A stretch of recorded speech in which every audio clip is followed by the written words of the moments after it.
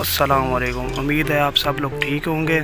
आए जी, आज हम बनाते हैं बीफ पुलाव बीफ पुलाव के लिए हमें क्या क्या चाहिए होगा? आए जी, मैं आपको बताता हूँ। बीफ दो के जी राइस दो के जी प्याज दरमियाने साइज़ के चार अदद और टमाटर चार अदद। पाँच छः हरी मिर्चें हो जाएँगी। अदरक, लहसुन, नमक। गरम मसाला साबित हो गया। पुलाव मसाला और आलू बुखारा 50 ग्राम तकरीबन। बीफ बॉयल करने के लिए बीफ को देगचे में डाल देंगे। अब इसमें हम तकरीबन दो से तीन के जी पानी ऐड कर देंगे ताकि बीफ बॉयल हो जाए। अब इसमें नमक एक टेबल स्पून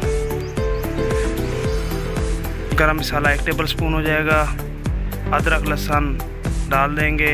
अब हम इसको चूल्हे के ऊपर रखेंगे ताकि यखनी तैयार हो जाए। प्लीज़ हमारे चैनल को लाइक करें, सब्सक्राइब करें, आगे शेयर करें। अब हम चावलों को धो लेंगे और इनको तकरीबन एक घंटे के लिए भिगो के रख देंगे पानी में अच्छे तरीके जो लोग हमारे चैनल पर नए हैं, प्लीज़ चैनल को लाइक करें, सब्सक्राइब करें, शेयर करें आगे, ताकि हमारा चैनल के जो नई वीडियो आती हैं, आपको पता चले। प्याज हम काट लेंगे।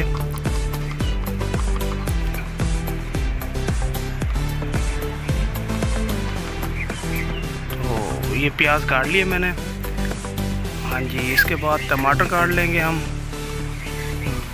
हमारे चैनल को लाइक करें, सब्सक्राइब करें और शेयर करें आगे, ताकि नई आने वाली वीडियो आपको मिले और आप देखें। हम सपोर्ट करें।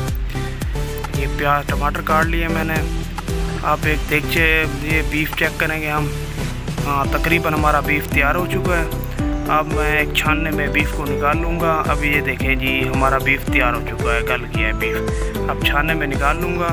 बीफ को यखनी एक साइड पे कर लेंगे और बीफ एक साइड पे हो गया हमारा।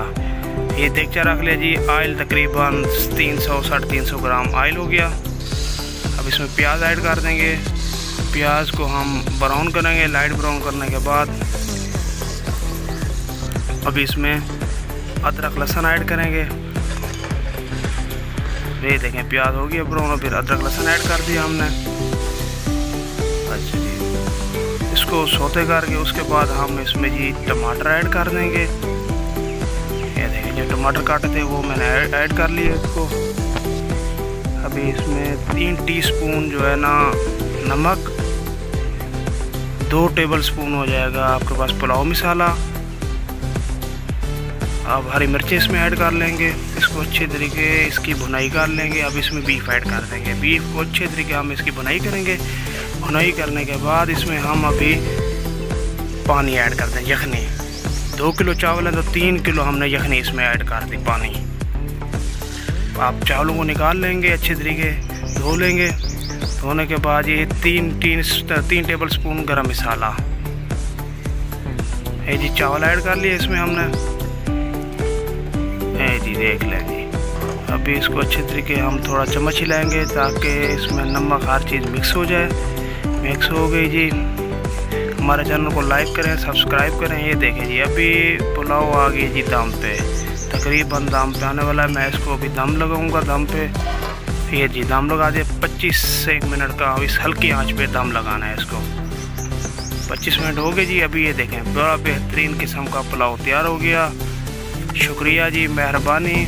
आप हमारे चैनल को लाइक करें, सब्सक्राइब करें, शेयर करें और हमारे नए आने वाली वीडियो देखें। ये देखें जी। हमारा बेहतरीन किस्म का पुलाव तैयार हो गया। मेहरबानी। अल्लाह हाफ़ अपना ख्याल रखिएगा।